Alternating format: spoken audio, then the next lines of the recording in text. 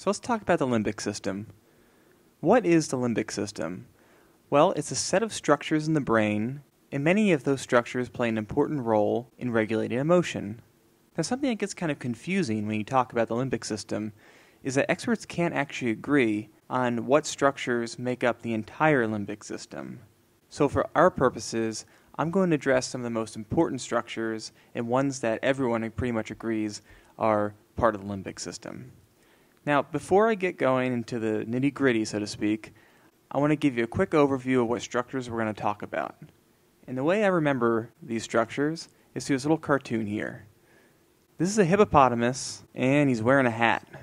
Now, why is this hippopotamus wearing the stylish hat? Well, this is my way of remembering the four most important components of the limbic system when it comes to emotion. So we see a hippopotamus here. I'll write hippo and we see him wearing a hat. All right, hat. Now, for this to be a mnemonic, it has to be something useful. And the reason I think of this is these are the four main structures of the limbic system when it comes to emotion. So, HAT stands for hypothalamus,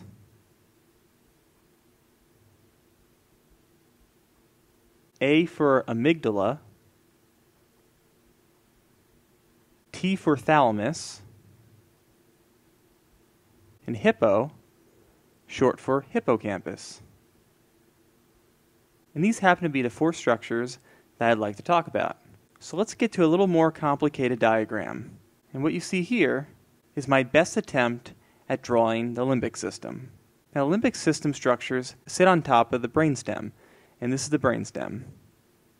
And you can imagine this as the very bottom of your brain, and here's the spinal cord coming out of it. And the spinal cord goes all the way down your back to about your tailbone. Now, the limbic system are these structures up here that are drawn in bright colors. Now, to orient you to this diagram, this is what you would see if you pulled off like the top part of your brain, which is called the cortex. And it's facing in this direction.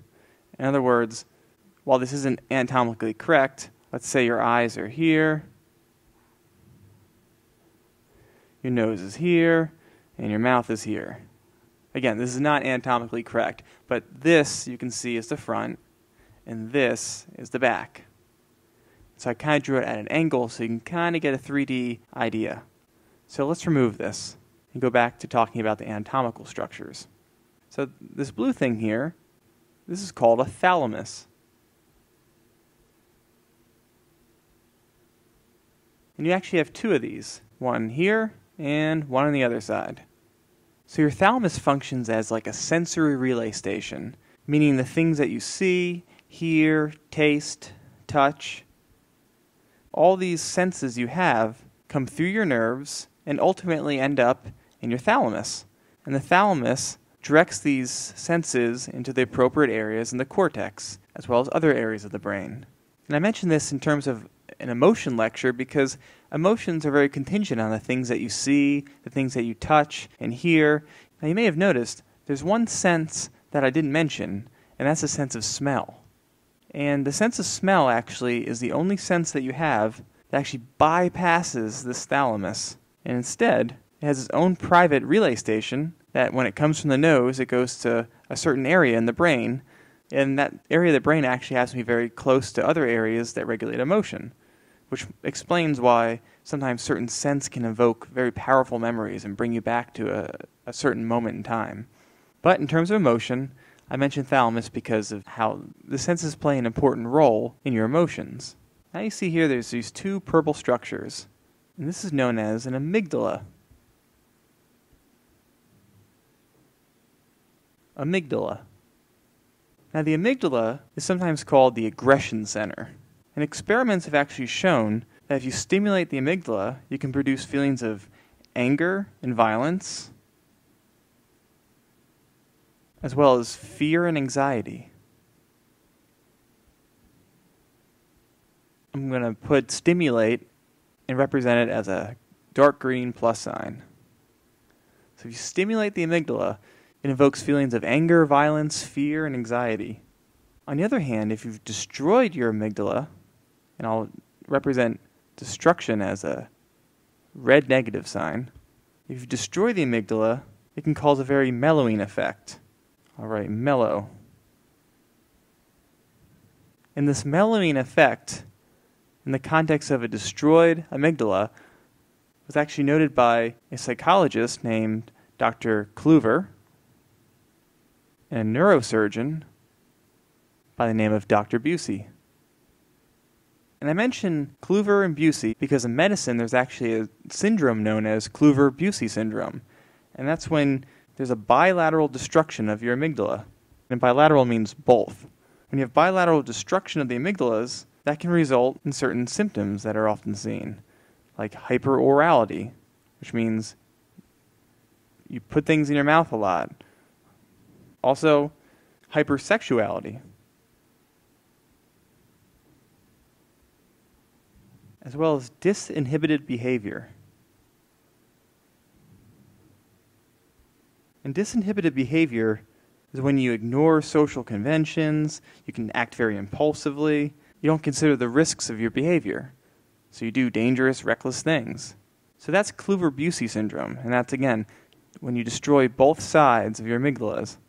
And the way I remember this is I think if you stimulate the amygdalas, that can cause fear, and anxiety.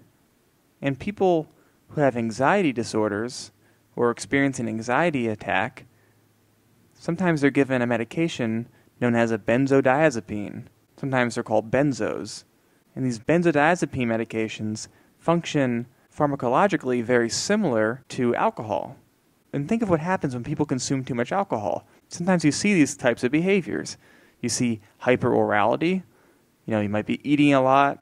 You might have hypersexuality. And of course, you get disinhibited behavior. Think of the person with a lampshade on their head. They're ignoring certain social conventions because of the effect of alcohol.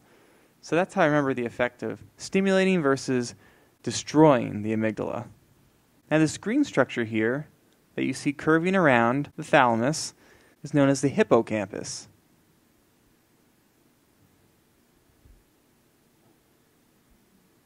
And the hippocampus plays a key role in forming new memories. What it does is it helps to convert your short term memory, abbreviated as STM, it helps convert that short term memory into your long term memory. I mention that in this conversation because when you think back in your memories, whether it's short term memory or long term memory, these memories can invoke emotions as well. So the hippocampus is an important structure in forming long-term memories. And people with damage to this area, they have difficulty forming new memories. So everything that they experience just basically fades away. Now, what's interesting about this is if your hippocampus is destroyed, while you can't form new memories, you still have your old memories intact. So your long term memory functions just fine.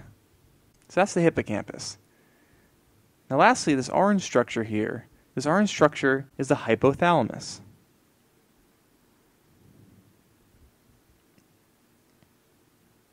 And hypo means below. So hypothalamus is below the thalamus. And here, here's the thalamus, and it's below it. So that's where it gets its name from. And the hypothalamus is actually a very tiny structure. In this diagram here, really exaggerates the size of the hypothalamus. Hypothalamus is so small, it actually makes up less than 1% of the total volume of your brain. It's about the size of a kidney bean. And the hypothalamus plays an incredible role in regulating so many functions in your body. But for our purposes, we're talking about the limbic system structures in terms of emotion. So when it comes to emotion, the hypothalamus you can think of as regulating the autonomic nervous system. I'll abbreviate it as ANS. In the autonomic nervous system, you can think of as fight or flight versus rest and digest. Now, I'm going to discuss this further in a different video, but right now just think of it as regulating the autonomic nervous system. And it does this by controlling the endocrine system, by triggering the release of hormones into your bloodstream.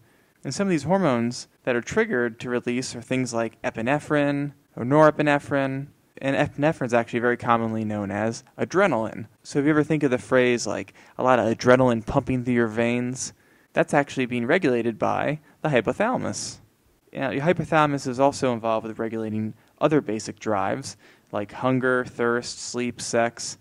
But in terms of emotion, I think it's most important to note that it regulates the autonomic nervous system, that fight or flight or rest and digest response. So that's the limbic system. And these are the four basic structures the thalamus, the amygdala, the hippocampus, and the hypothalamus. So these are the basic structures of the limbic system.